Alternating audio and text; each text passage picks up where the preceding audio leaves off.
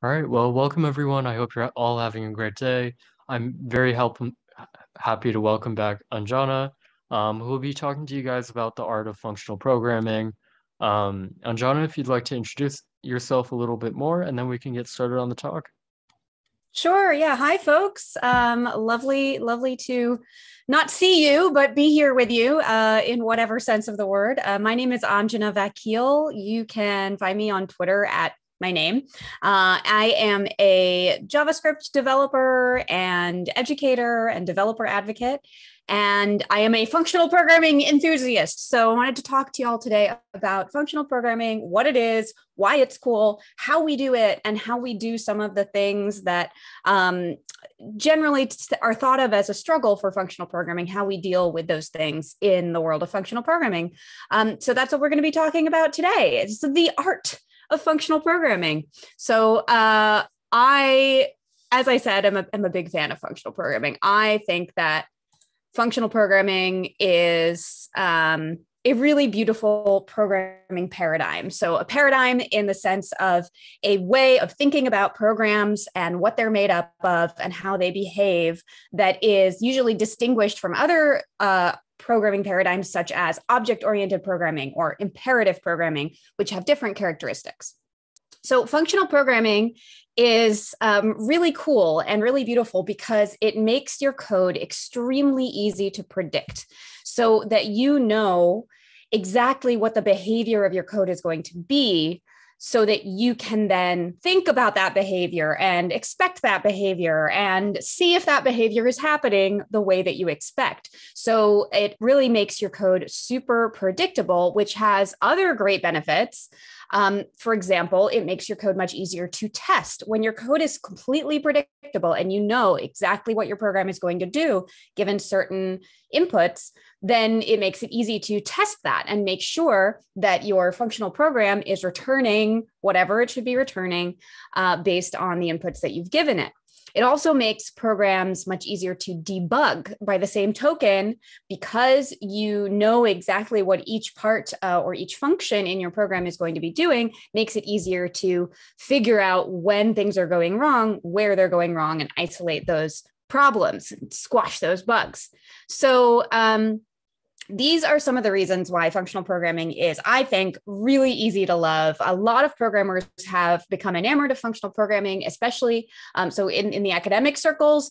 Functional programming has been a huge mainstay for many decades in the uh, pragmatic kind of day-to-day uh, productive you know working software engineers world more and more people are getting into functional programming. In the last five or ten years it's become a huge huge huge influence on the industry. And so um, we're going to talk about what it is why it's so easy to love uh, and we're also going to talk about uh, the fact that sometimes it can also be kind of scary. It can be pretty easy to fear functional programming uh, because it comes a lot out of the academic world. It can have a lot of really intense jargon uh, words like functors and monads and referential transparency and blah, blah, blah, all of these like really intense terms that can make it seem scary and uh, difficult to, to approach. And um, this is something that I think is a big problem for the world of functional programming. And so, personally, I think that functional programming, if we ignore all the jargon and we focus on the core concepts, it's easy enough to understand. We, as programmers, even if we've been working exclusively in imperative or object oriented programming paradigms, we can wrap our heads around the basic concepts of functional programming and how it works so that even if we don't become full on hardcore functional programmers, we can take those learnings, understand how functional programming works, and maybe apply a little bit of that uh, mindset to some of the work that we do, even if we're not jumping into a functional language full scale. So that's why we're going to be looking at JavaScript, which allows us to uh, play around with kind of the basics of functional programming without jumping into a language like Haskell or Clojure or Elm or some of these other purely functional languages. So this is kind of a, a personal mission of mine is uh, helping make functional programming more accessible. You might have seen around YouTube a talk I gave um, called Learning Functional Programming with JavaScript, which is going to go more into some of the, the mechanics and some of the techniques that you'll use uh, as a functional programmer. Today, we're going to talk about um, kind of some of the big picture stuff. And uh, so you can check that talk out if you want to dig a little deeper. Um, and by the same token, if you want to dig much deeper, you can check out uh, a course that I give on uh, a site called Front End Masters. That's basically a full um, a full course walking through lots of these um, concepts and techniques. And so these will be good ways to follow on if you want to keep learning about FP after this talk. But uh, for now, for today, um, let us talk about what functional programming is. So, functional programming is programming with functions. Super useful, right? Uh, I just repeated myself. What does that mean? Of course, we always program with functions. We write function keywords all the time in JavaScript, even if we're not doing functional programming. So, what does that mean? Well, it means programming with not just any functions, but pure functions. So, what is a pure function? Well, a pure function is one that all it does, all a pure function does in the world is take its inputs, do some kind of computation, and return its outputs. That's all the function does. It takes in inputs and it returns outputs. A pure function does literally nothing else. So, for example, uh, maybe we have a small function that takes in um, like a width and a height number and then uh, gives back an aspect ratio, dividing them. So the inputs are width and height, and the output is this ratio. So inputs to outputs, that is what a pure function does. What's important to note is what a pure function um, then becomes, because all it does is take in inputs and return an output based on those inputs. Pure functions are completely deterministic meaning the result of that function only depends on the inputs that you give it and depends on nothing else in the world. It doesn't depend on the time of day, uh, what checkboxes the user had selected, what uh, your, you know, what your your what state your program is in, what's going on in the world. None of that matters to a pure function. All a pure function cares about is its inputs, and every time you give it the same input, it will return the same output because its output is entirely dependent on its inputs. So that means it's deterministic. Every time you give it the same input, you get the same deterministic output out. It also means that it's stateless. So functional programming is often thought of as programming without state, where state is something in your program, some kind of value that changes over time. Like, for example, which checkboxes a user has selected or what have you those kind of values that change over time, we don't work with them in functional programming. We work with deterministic functions where you give them inputs, you get the same output no matter what. So, we're going to talk about what that means for day to day life in this talk. Um, and another thing to note about pure functions is that what they do is return their outputs based on their inputs. What they don't do is any kind of side effect. So, a side effect is anything that uh, a function might do that is not returning its output value. So, for example, console.log or logging values, that's a side effect because if you put a console.log inside of your function, that's not a return statement. You're not returning the value. You're outputting it on the side and then going on to return your value. So that's a side effect. We don't do that in functional programming. Uh, for example, touching the DOM, appending nodes to the DOM, also a side effect modifying something in the outside world that's other than just returning the value from the function, that is a side effect. So we can't touch the DOM in functional programming. Um, and by the same token, we can't even read from the outside world in a function because um, each pure function, as we said, all that it depends on is that the inputs that you pass into it as arguments. So we're not going to, let's say, go select our checkboxes and see, uh, you know, what uh, values people have selected, or go select an element by its ID and see what um, what attributes it has on it. Use that, excuse me, use that in our function. We're not going to do any of that. Pardon me. Um, all of that is examples of side effects. And these are things we completely avoid in functional programming. A pure function does not do any of these kind of things. So you might be wondering, well, what can you do then if you can't do any of that stuff? If I can't log anything or touch any of the DOM or read anything from the outside world, doesn't that make functional programming like pretty useless if pure functions can't do any of those things? And that is what we're going to try to wrap our heads around. No, actually, functional programming can do anything that programming can do. But in the real world, we have to make certain adjustments to how we think about functional programming and how we think about our programs um, in order to make sure that we're working with pure functions as much as possible so that we can take advantage of that predictability, which is a consequence of the determinism of pure functions. So this is the this is what we're going to try to wrap our heads around in the next uh, what 20 minutes uh, is how does functional programming work in the real world? How do we do the things that we need to do as functional programmers and still take advantage of pure functions and their determinism?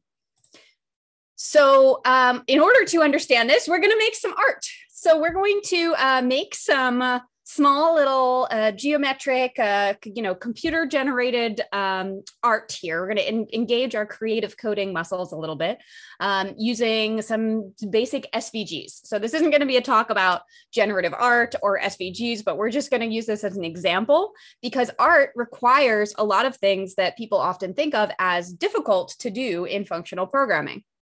So art requires making generative art usually requires some kind of side effect because you have to draw something on the screen. And we said that touching the DOM, for example, modifying an SVG, let's say, that's a side effect. So, how do we deal with that in functional programming? We're going to find out.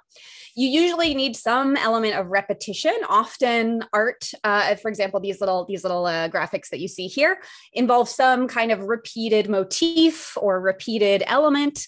So, we're going to figure out how functional programming handles that repetition. You also might need some concept of state or something changing over time. For example, maybe the squares get smaller, or maybe the colors change as you go across the row. So we're going to figure out since we said pure functions don't use state, how do we manage that in our functional programs? And finally, generative art also usually has some kind of element of randomness, some kind of element of unexpectedness where the computer is just sort of choosing random values. And we said that functional programs are deterministic which is the opposite of random. So, how do we work with randomness in functional programs? We're going to dig into these four things.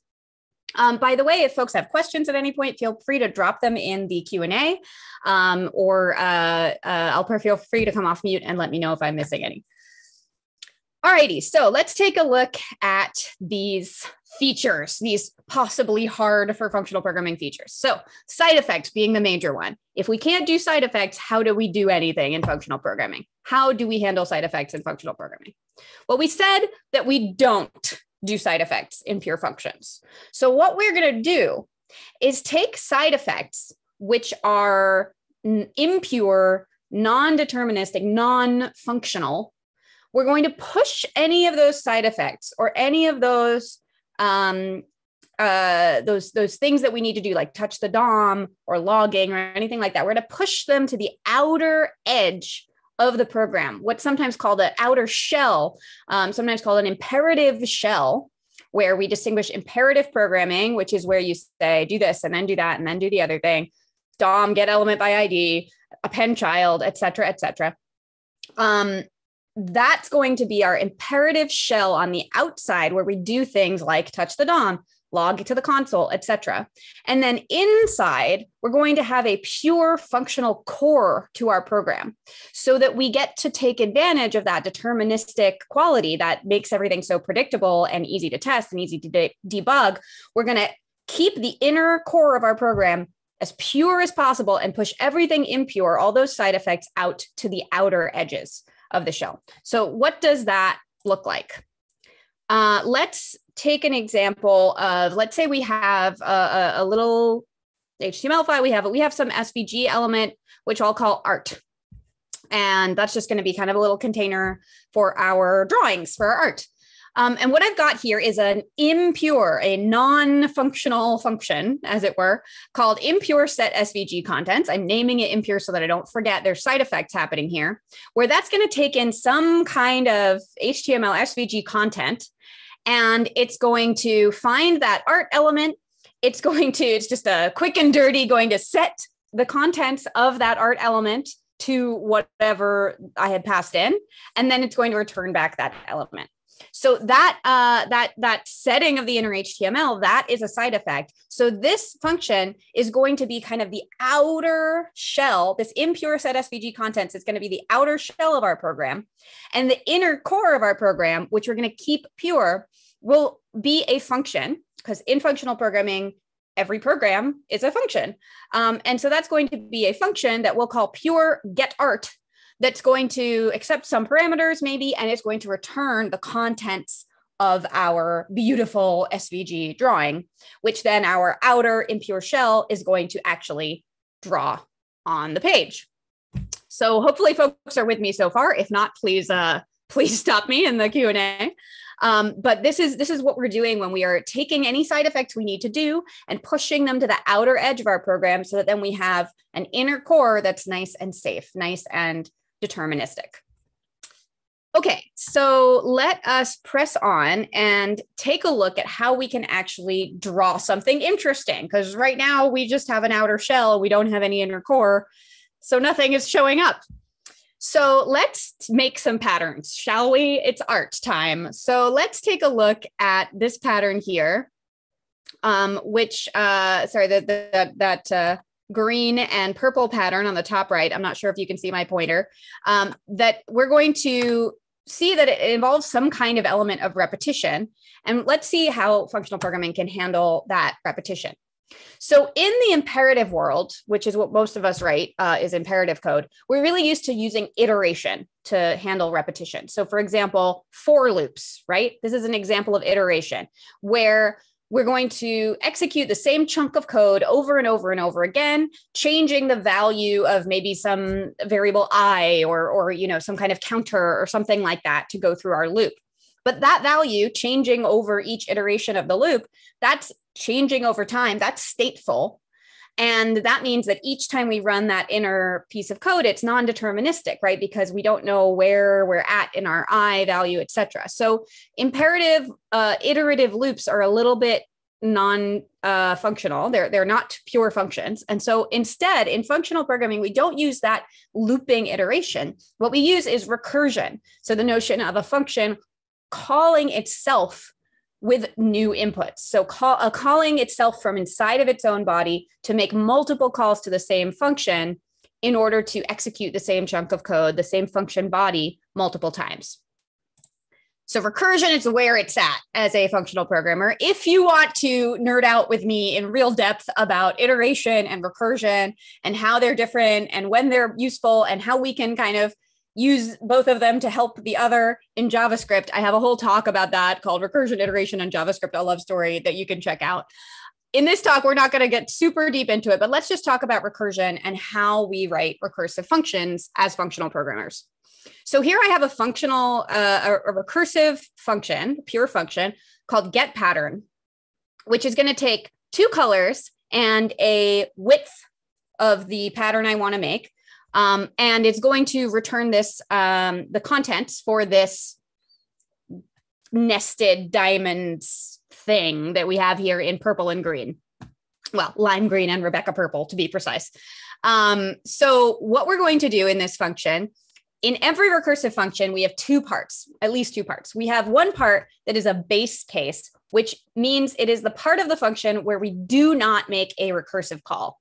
This is kind of the thing that stops the recursion from going infinitely because at some point we have to reach kind of the bottom of this function. And so the base case is that bottom that says, hey, don't make another call to this function, just return something simple. So in this case, we're starting out with a tile, we'll call it this tile, which is basically just a rectangle with the given width and of uh, the first color.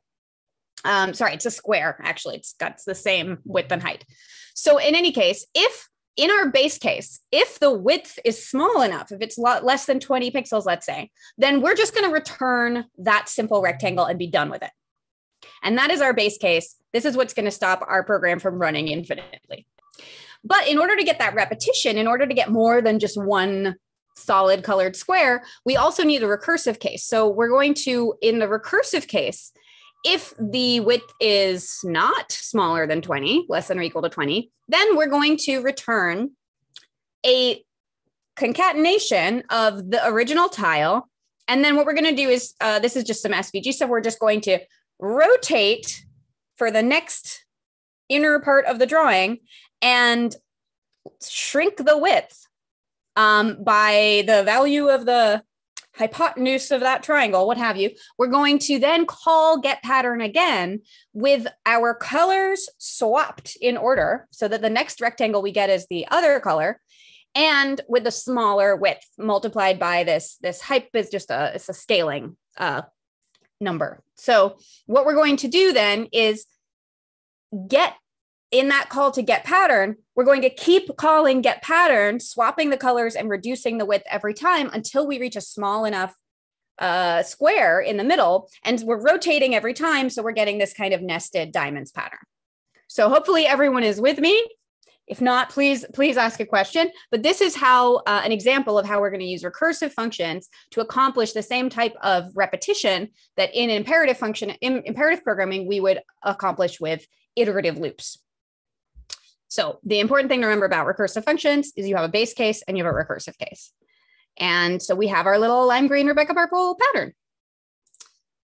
All right, let's take a look at a different type of pattern now. How about just a, a grid?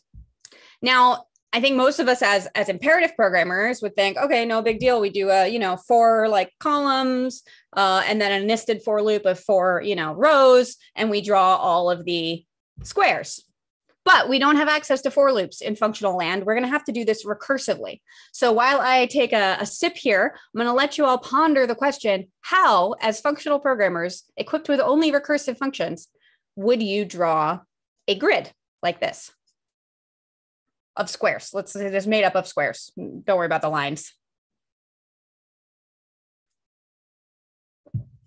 Now, unfortunately, I can't hear you, what you're saying, but I'm going to imagine that you're thinking really hard right now, scratching heads, rubbing chins.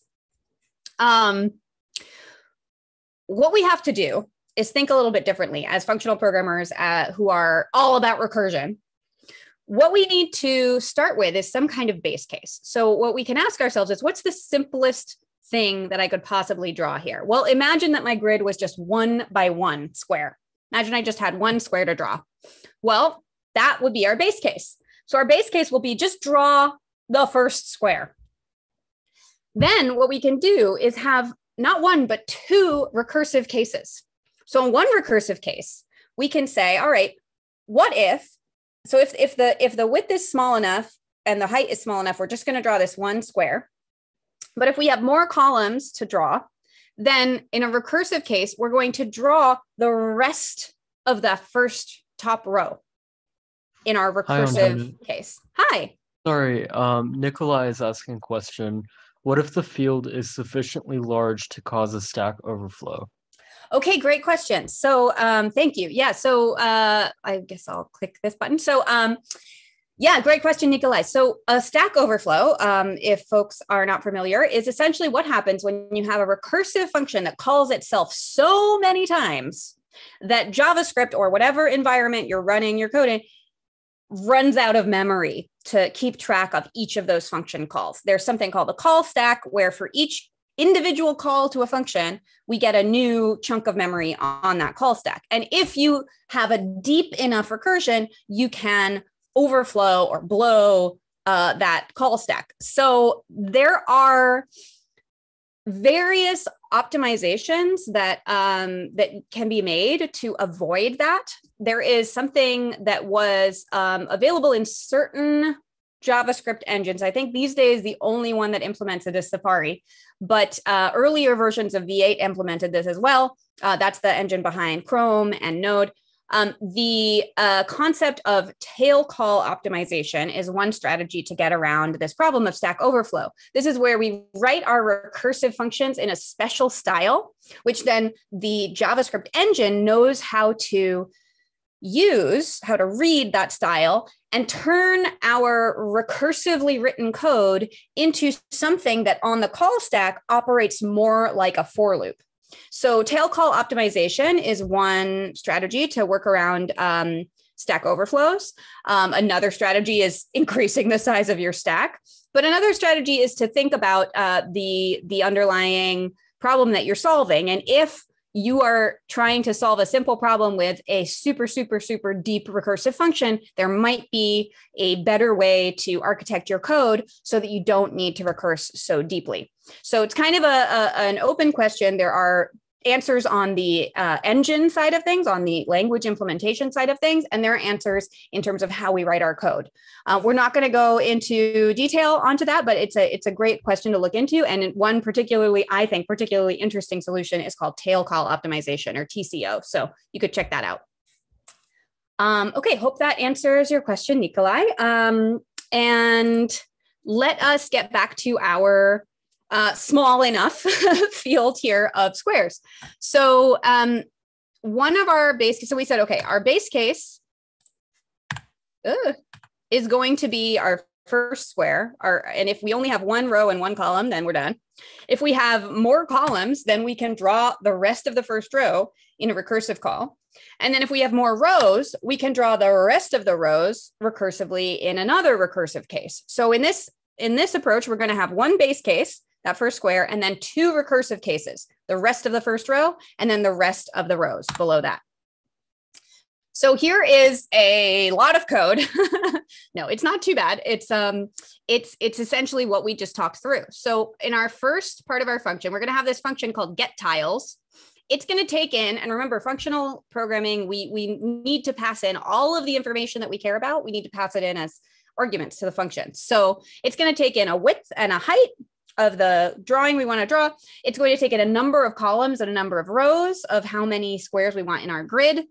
Um, a, a make tile function, which we're going to talk about later. So a make tile function that's going to draw the individual tile. And in this case, we're going to use as our make tile function, something called make basic tile down at the bottom here, which is just going to basically draw a solid colored rectangle of the appropriate width and height.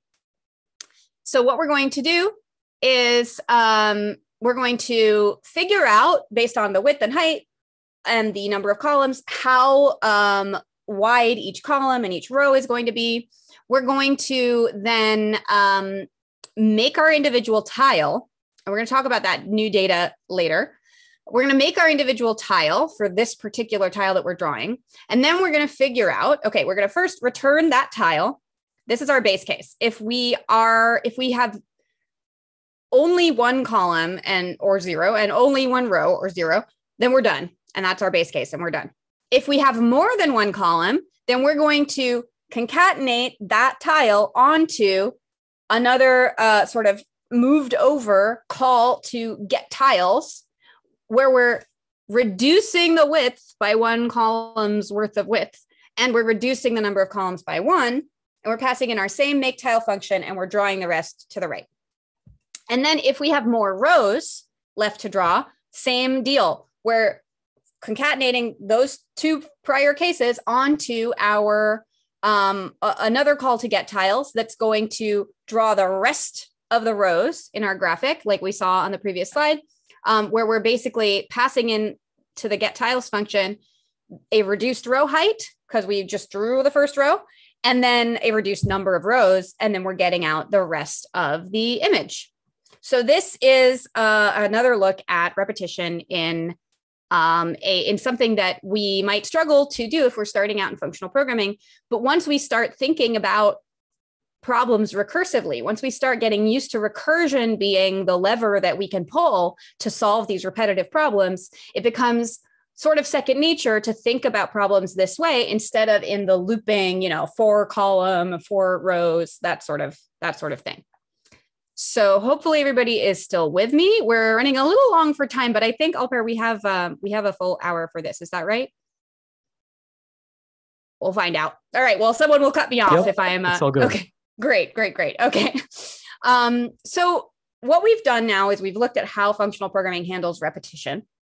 What we still need to figure out is how does functional programming handle the thing that we said we're not allowed to do, which is use state. So this is where values would change over time um, as we might do, for example, when we do, you know, uh, the the i incrementing every run of a for loop, for example. So the way we do this in functional programming is we don't we don't use state. We don't think about values changing over time. We think about data. We instead of thinking about the values that we want to change as state, so meaning as a single value that's changing over time, we think about it as data, where we have some kind of old data that represents the world of the program that we care about.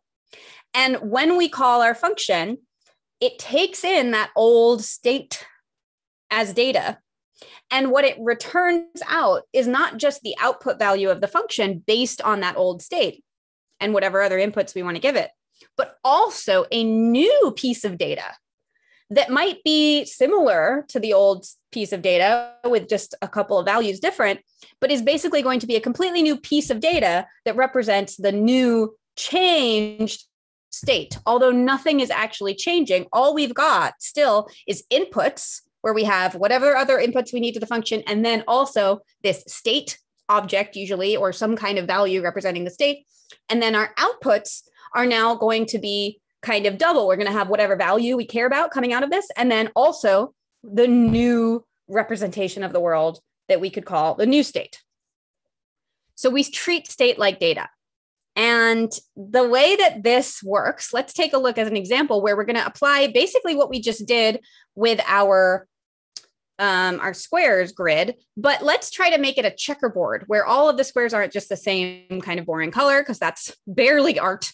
Um, let's try to make it a checkerboard where the squares alternate colors. Now, in order to do that, when we're drawing our get tiles, we're going to have to remember which color we just drew so that we can draw the other one next. Now, remember in our previous version, one way that we did that was by representing which color we have to draw next by the order that we passed in those color arguments. And we switched them each time to alternate green rectangle, green squares and diamonds and purple ones, if you remember a few minutes ago. Um, what we're going to do here is we're going to actually represent the state of the world that we care about with a little object. So in this new function that I have called make checker tile, which is going to be passed in as our make tile function to our get tiles, we have not just the width and height, but we also have a little object here that I'm going to pass in that contains whatever state I care about in the world. And that's going to be uh, some array of colors and then also an index into that array that tells me what the current color is. So, for example, I could pass in a colors array of orange and hot pink and a color index of zero, meaning orange, and start drawing from there. And then what we're going to do is we're going to return not just the SVG contents that we need, but an array that has first the SVG content, so the, the return value of our function, and then another value that is essentially an updated, uh, a new object that represents an updated state of the world of the program. So in this case, we're going to take the color index and increment it, uh, and then do a little uh, mod by the colors length so that we loop around to the beginning if we've reached the end of the array of colors. So what we've got now is that each time we recursively call this function, if we go back to our previous example, we saw that when we called um, make tile, oops, sorry. Uh, when we called make tile here, we're capturing the new data.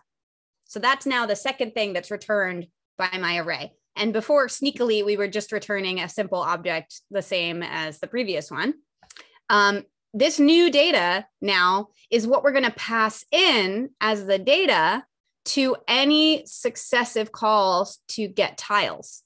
So, where we had that data passed in originally, we are going to give the program an opportunity to update it. Now, this is a completely new piece, new piece of data here, but we're going to pass that in in order to, um, in order to, let's say, change the color index for our next call to get tiles.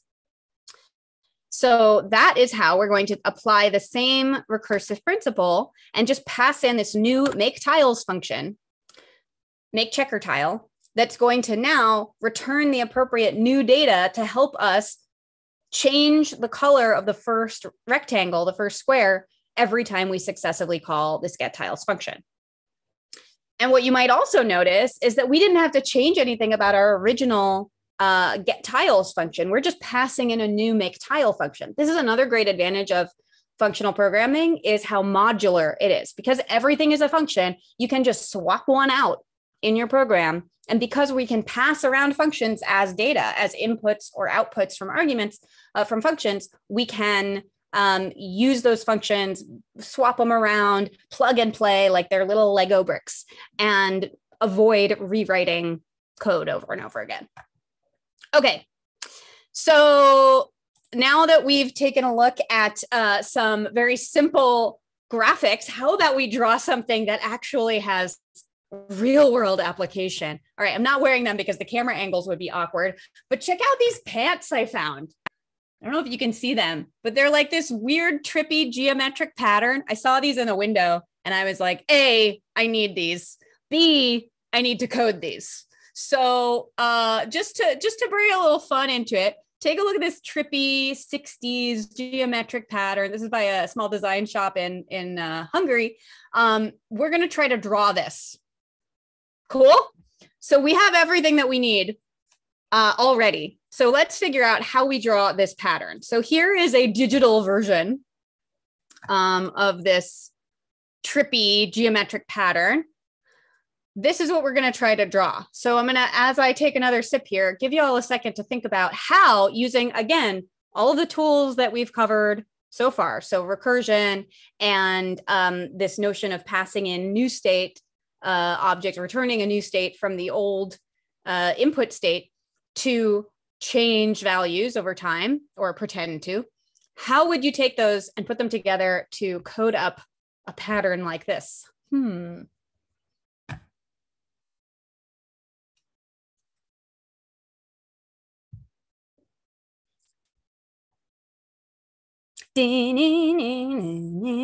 No, just kidding. It's not a quiz show. All right, let's see. In the interest of time, let's press ahead. First thing we're going to do to make our lives simpler is let's just say that we've applied a rotate to this whole thing. So that'll be our last step. So let's unrotate this pattern and make it a little bit more square edged so that we can think about it more clearly. Now, do you notice anything about this uh, about this pattern now that we've unrotated it? It basically breaks down into kind of a checkerboard like we had before, uh, or, or should I say a, a tiled uh, uh, square like we had before. And within that tiled square, we'll notice that it's a repetition of the same tile over and over, which is in that yellow box here. And if we zoom in on that individual tile, what do we notice about this? Well, because you can't answer me, I'll answer for you. So this is actually a series of checkerboards. This is four different checkerboards. We have one big one, which just looks like that checkerboard that we just drew another one that's squished that's like narrow next to it um, a, a, similar one that's kind of squished in the other direction so it's wide um, underneath the big square and then a little a little one that's uh, just regular square checkerboard that's just smaller than the first one so we have a big one a narrow one a wide one and a small one and i don't know what angle y'all are looking at me at but you get the idea um, so we just need to draw four different checkerboards with the right dimensions, squish them together, tile them out using our original basic tiling kind of function, and then uh, rotate the whole thing, and we'll have our pattern. So let's figure out how to draw these this pattern. So what we've got here, we're, we do not have to go through this uh, line by line, but essentially what we're looking at, we've got just some little ratio. This split ratio is like what's the ratio of narrow to wide, etc. Um, we're going to figure out using that ratio what the squished uh, width and height are going to be. And we're going to compute the new data for the next run of our make tiled tile function. Um, and what that's going to do is take whatever data we had before, update the color index so that we basically start the next checkerboard with the opposite color. Oops, sorry. So that we start like the first checkerboard starts with orange, the second one starts with pink, and so on and so forth, so that we get this nice alternation. So that's what we're doing here with this data n. This n is just going to um, tell us how many um, squares make up each one of those checkerboards. So, like five in this case. Uh, we're going to use that to decide whether we need to start with the same color or the opposite color to make things continuous. Then what we're going to do is draw our big square, our narrow square, our wide square, and our small square. And in each of those, we're going to make a call to get tiles because each of those is going to be its own little tiled piece of art um, that essentially is just a question of passing in the right width and height. And we're going to pass in our checkerboard function, our make checker tile. So we just pass in either the, the big width and height or the small width and height and so on and so forth, uh, as you can probably see for the, the narrow and the wide versions. And then the small one is going to get the small versions of both. And then what we return is essentially just a concatenation of all of these together, our big tile, um, then we're going to move our narrow one over. So it's next to it. We're going to move our wide one down so that it's uh, below it. And we're going to move our small one down and to the right. Which direction? Um, so that everything lines up. So we're just using those transform functions to line things up. And boom, then we apply a rotate on top of all of that. And we've got our trippy fashion. So that's pretty fun, right? Now this is uh you, you can uh you know, functional programming for fun, profit, and fashion. Um, so this is everything we can do with repetition and recursion. You can make whatever you can do whatever functionality you need to do we're using art as our example here but it's just a question of kind of bending your mind a little bit and thinking about problems a little bit differently so let us talk about this last uh, thing to tackle here which is irregularity randomness how do we so our previous patterns have been pretty regular they've been pretty uh, unchanging and therefore not that surprising and not that interesting. And usually, when we're making art, especially with computers, we want it to be cool and surprising and be like, whoa, the computer drew that. That's cool. So let's try to add a little irregularity, a little randomness. Um, so, how do we handle randomness in functional programming? We said that pure functions are deterministic. That means that I can't just have some kind of randomly changing output every time I call the function with the same inputs. We said that pure functions, when you call them with the same inputs, you always get the same output.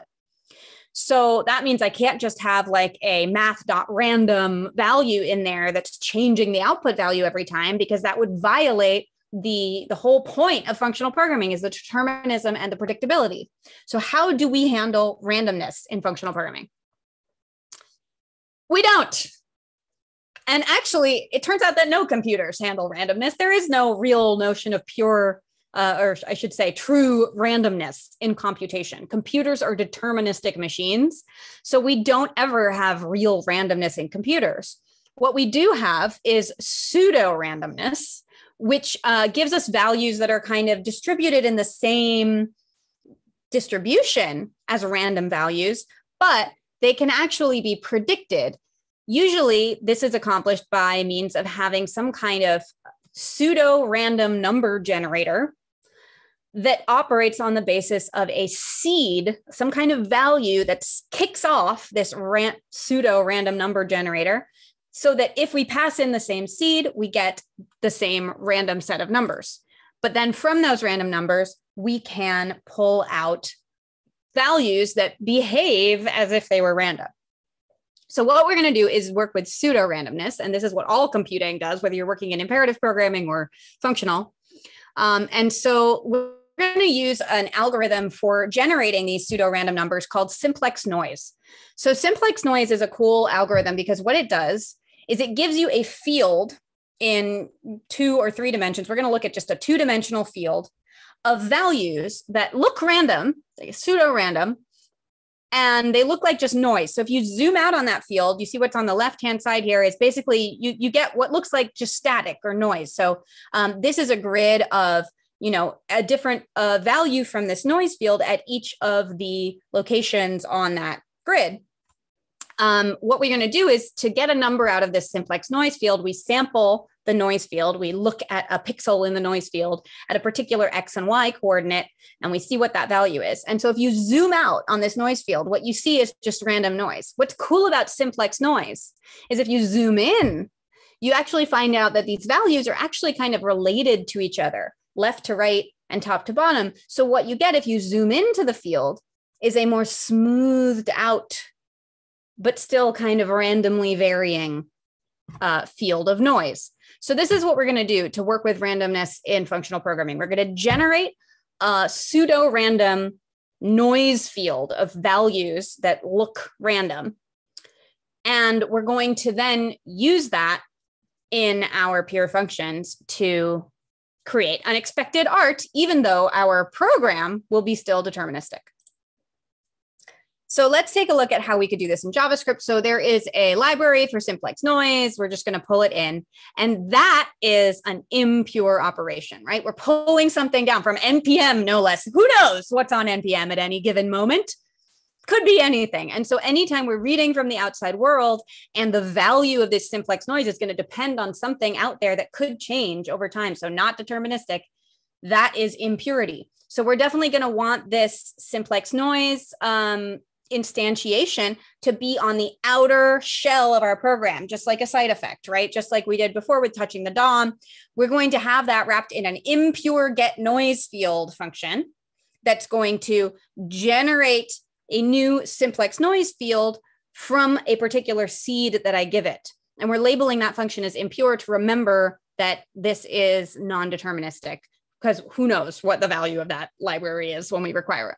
But once we've instantiated that noise field from a seed, now we are going to be able to see that everything is pretty deterministic. So when I when I create a noise field, calling my impure get noise field with a particular seed, I get this noise 2D function, which allows me to, or method, which allows me to sample the noise field at a particular X and Y coordinate to get a pseudo random value. And what we'll notice is that if I instantiate the noise field with a certain seed, then if I create some other noise field with a different seed, I get a different value at that location.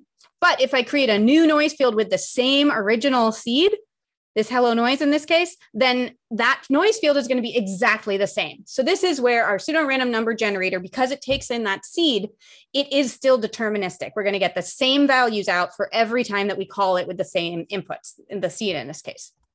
So that's how we're going to do it. We're going to isolate the instantiation, the, the the calling of this library into our outer shell. And then within our shell, everything that we work with with that noise field is going to be deterministic.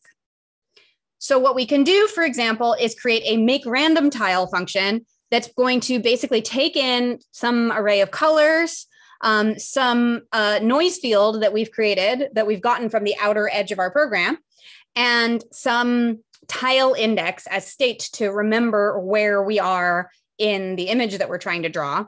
And what we can do is just sample the noise field at the particular width and height that we are looking for. Um, uh, sorry, at, at the X and Y coordinates of where we find our tile based on its index. Like we could start in the corner and go zero through number of tiles and so on and so forth.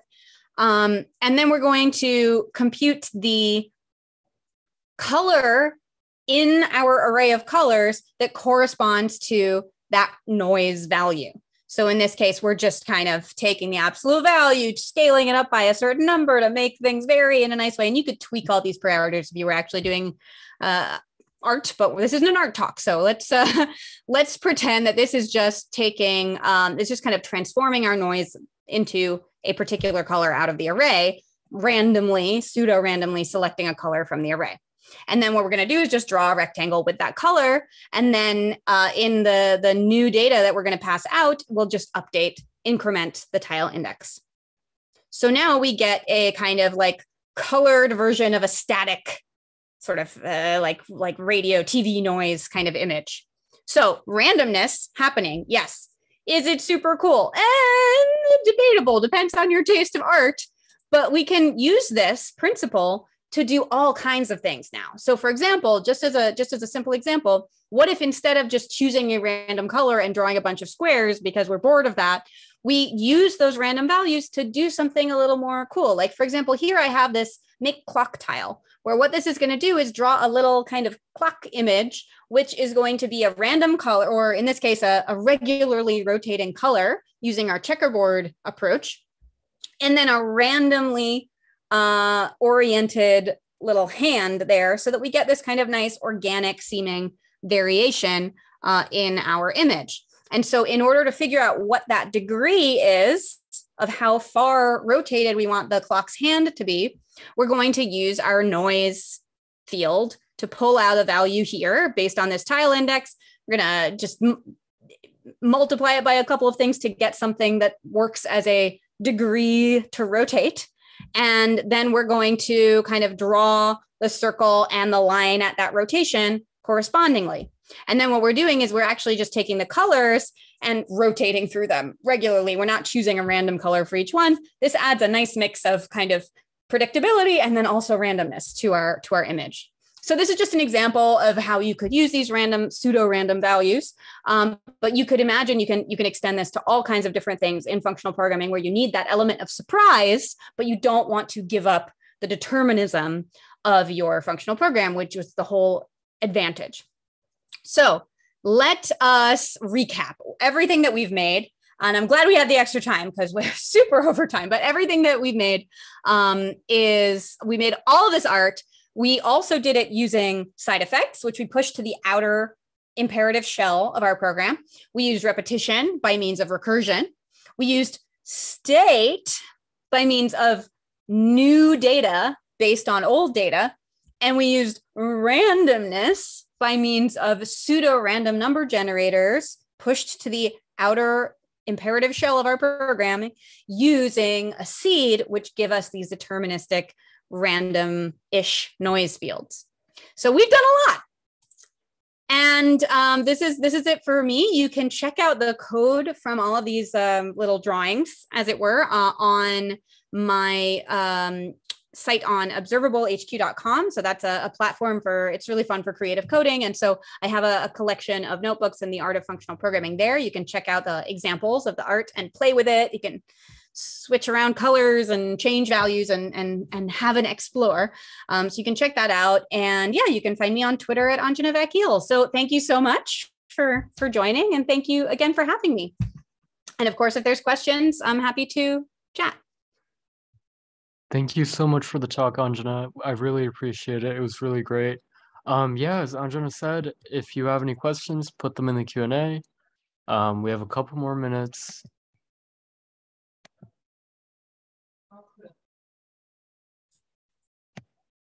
So maybe to get it started, um, it's a relatively simple question, but maybe people are wondering how they can use functional programming throughout their careers since most of these students are college students who are looking to kickstart their careers in the CS and engineering industries? Yeah, so functional programming is a really foundational paradigm for um, a lot of, well, computer science on the one hand. So, as I mentioned, you know, there's a lot of work on functional programming work would say increasing number of um, not just languages of course there are kind of functional languages out there which some of them are growing a lot and and end up having very good um, career perspectives for for folks entering the industry i'm thinking languages like Clojure and Haskell and Scala. These are languages that uh, you know they often are really great um, to work in, and um, and people find them really enjoyable and they can also be very lucrative because it's uh, you know in demand or there's more demand than there are functional programmers but even if you don't end up going into functional programming as your job let's say it's really useful as a foundation for understanding a lot of um, libraries and uh, and tools out there in the world of software engineering. So, for example, some very popular frameworks in languages like JavaScript, for example, React is very much based on some functional programming ideas, even if it's not a pure functional library. Um, you also have um, languages or or systems coming out that that try to take ideas that were developed in functional programming languages and apply them in other contexts. For example the language Clojure has done some really interesting things with data structures and that's now used by certain let's say um, databases that employ those strategies learned from the functional programming world to make really efficient and predictable and um, and interesting uh, kind of database approaches. So there are a lot of ways in which a core, even if you don't become a functional programmer per se, um, having a foundation in understanding functional programming concepts, at least the major the major ones, the, the big the big picture ideas and the uh, kind of core techniques can be really helpful for understanding other tools and languages and frameworks. Um, and then I see we have another question, which is not at all a dumb question. There is no such thing as a dumb question. Um, is uh, is functional programming the opposite of object oriented programming? Great question.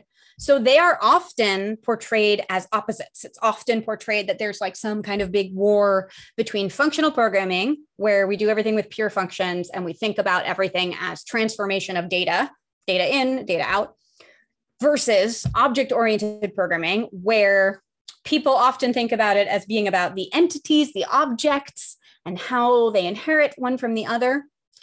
And so often in the day to day language that programmers use, they will talk about these as kind of, if not opposites, then in contrast.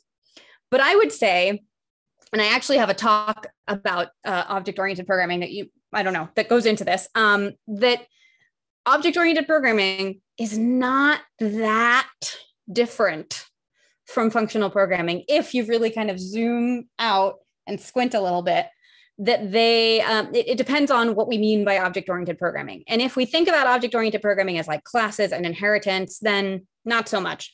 But i would argue that the actual meaning of functional program of, of object oriented programming um, going back to the creator of the paradigm or let's say the founding father of the paradigm who is alan kay um, who developed the language smalltalk which was kind of one of the most the, the prototypical object oriented language. Um, he talks about it as being much more about these objects all being able to exist on their own, have encapsulate their own state, and then send messages to each other by means of method calls, let's say, that allow them to kind of pass data back and forth and, and, and influence each other back and forth. And if you think about functions as being able to send messages to each other by means of their input arguments and their return values, it ends up not being that super different to think about. It's just kind of a different thing that you're focusing on. Are you focusing on the data transformation? Are you focusing on the entities that do that?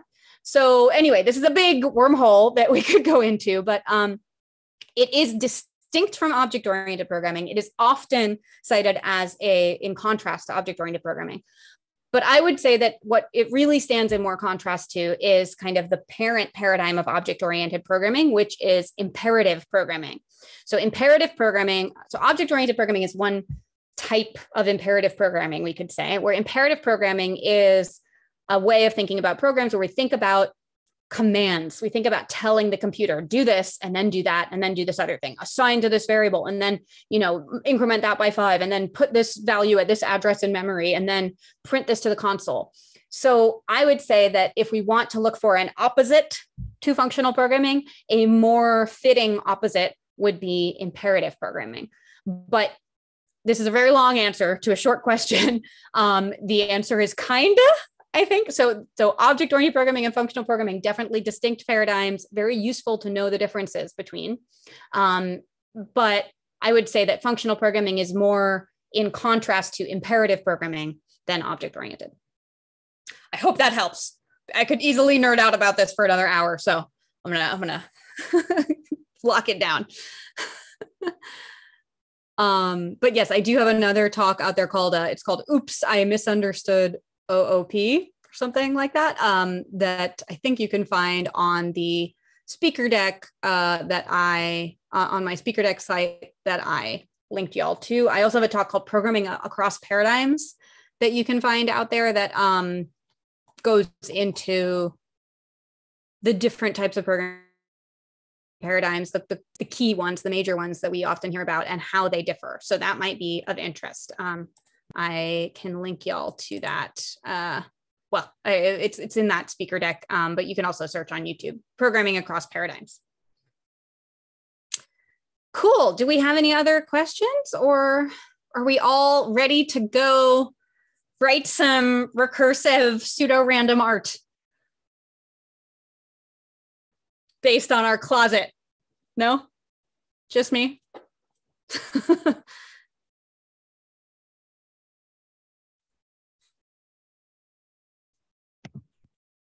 I believe that's all the questions.